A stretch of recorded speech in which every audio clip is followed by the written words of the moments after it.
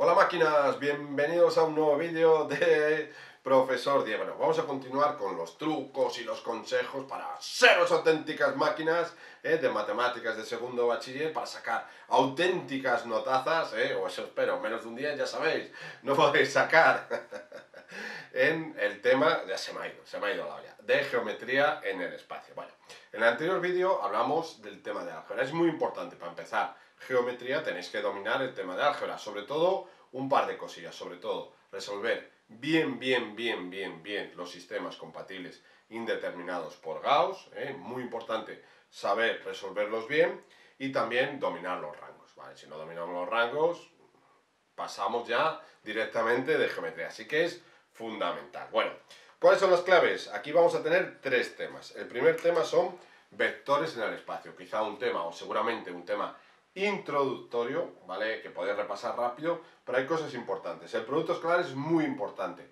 y sobre todo sus propiedades. Recordad, si el producto escalar de dos vectores es cero, ¿eh? los vectores son perpendiculares. Por ejemplo, estos dos vectores tan bonitos que tengo aquí, si son perpendiculares, yo hago el producto escalar, me tendrá que dar cero. Bien.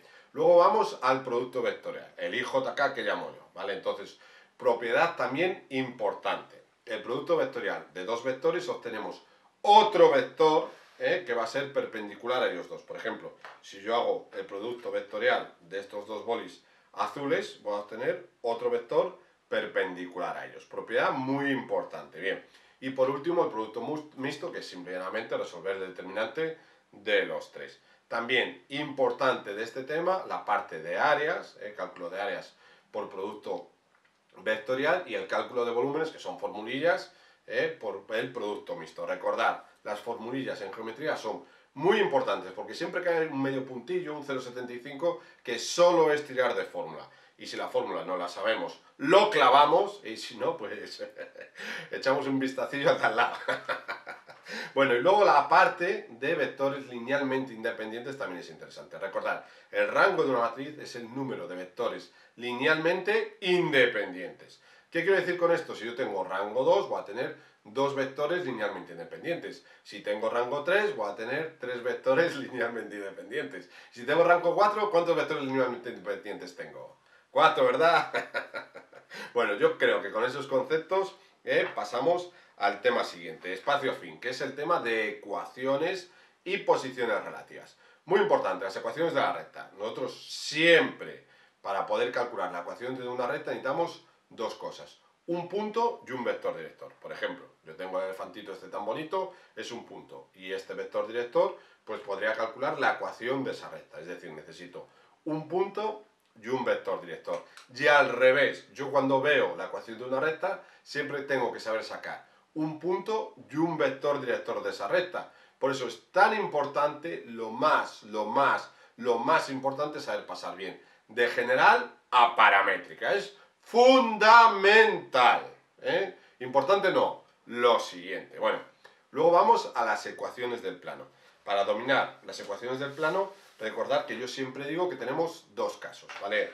Imaginaros que el plano es esta mesa que tenemos aquí. Entonces tenemos el caso 1, es conocido un punto, ¿sí? Y dos vectores directores. Pues ya puedo calcular las ecuaciones de este plano. Ese sería el caso 1. Conocido un punto y dos vectores directores, ¿vale? Y el caso 2 sería conocido un punto y el vector normal, ¿vale? Recordar también esto que es muy importante. El vector normal siempre es el mismo. Luego es el que me va a representar el plano. Sin embargo, los vectores directores hay infinitos. Luego me dicen pocas cosas del plano. ¿Ves que hay infinitos y que solo hay uno? Bueno, la otra parte, la siguiente parte de este tema, que también es muy importante, son posiciones relativas. Bueno, entonces, posiciones relativas, sobre todo la más importante, la más importante, aunque todas son importantes, es entre dos rectas. Recordad, posición relativa entre dos rectas, si esto fuese una recta y esto fuese una recta, tenemos cuatro casos, ¿vale? Que las rectas se cruzan, que las rectas se cortan, daros cuenta que es distinto, que las rectas sean paralelas y que las rectas sean coincidentes, ¿vale?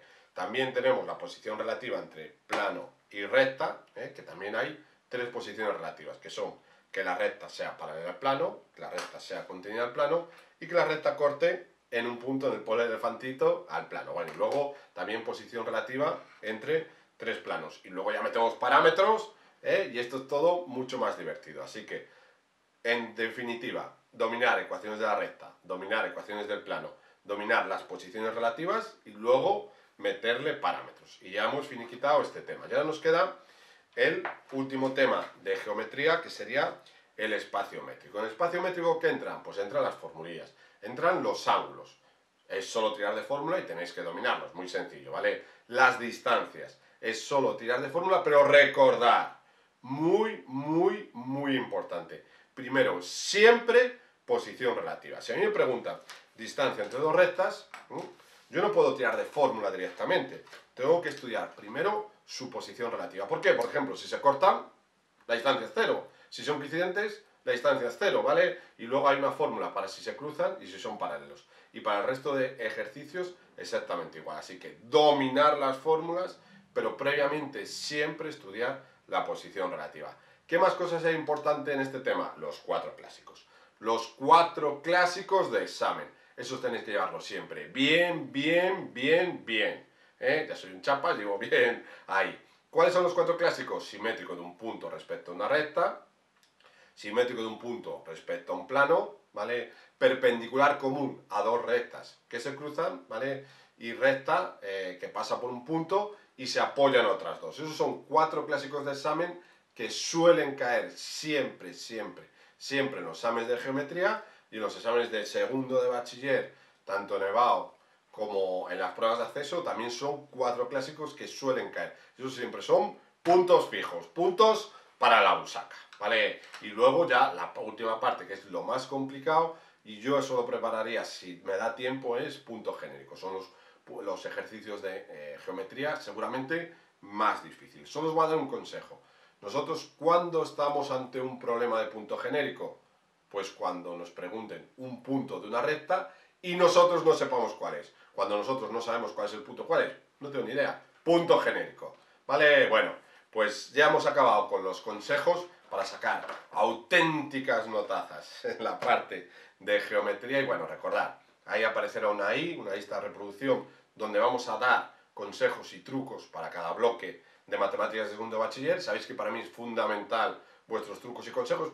Pues yo, Sergio, hago esto, yo, Sergio, hago lo otro, ¿vale? Ahí en los comentarios que os ha parecido esta serie de vídeos, ¿vale? Darle al like y sobre todo suscribiros, suscribiros, suscribiros y darle a la ruletilla que diga la campanilla para recibir las notificaciones. Y venga, ahora vamos a por el tema de análisis que es el que más gusta a todo el mundo. Venga, nos vemos máquinas.